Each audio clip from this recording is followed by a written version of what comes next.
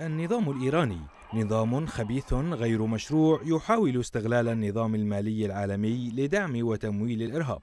هكذا وصفت وزارة الخزانة الأمريكية هذا النظام الذي أصدرت ضده ما سمته بالدليل الإرشادي عن نشاطاته بهدف مساعدة المؤسسات المالية الأمريكية على تحسين قدرتها باكتشاف المعاملات المشبوهة المتعلقة به. كما سيساعد الدليل الذي أعدته شبكة مكافحة الجرائم المالية بوزارة الخزانة الأمريكية المؤسسات المالية الأجنبية على تجنب التعرض للعقوبات الأمريكية والتصدي لمخاطر تجاوز قوانين مكافحة غسل الأموال وتمويل الإرهاب التي ينتهكها النظام الإيراني من خلال استغلال الأنظمة المالية الدولية.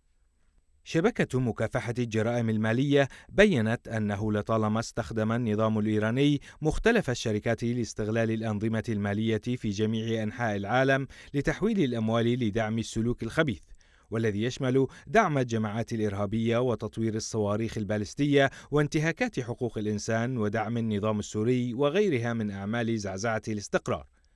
وبحسب الشبكة تشمل الأساليب التي يستخدمها النظام استغلال البنوك وشركات الصرافة والشركات الوهمية واستغلال الشحن التجاري وإخفاء المعاملات غير المشروعة باستخدام كبار الموظفين والمسؤولين. بما في ذلك المسؤولون في البنك المركزي الإيراني.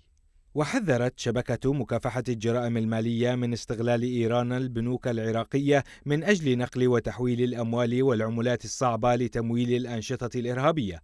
خاصة وأنها صنفت إلى جانب المسؤولين الإيرانيين كلا من رئيس البنك الإسلامي العراقي آراس حبيب ومحمد قصير المسؤول المالي في ميليشيا حزب الله كإرهابيين دوليين.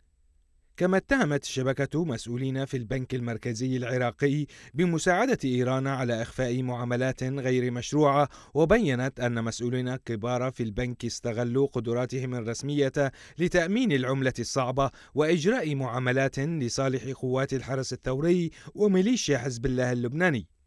حيث كشفت الشبكة عن معاملات توجيه يقوم بها مسؤولون في هذا البنك إلى حسابات شخصية بدلا من حسابات البنك المركزي أو الحسابات المملوكة للحكومة وقيام أفراد أو كيانات غير مرتبطة بأي بنك مركزي أو حكومة بسحب الأموال من هذه الحسابات.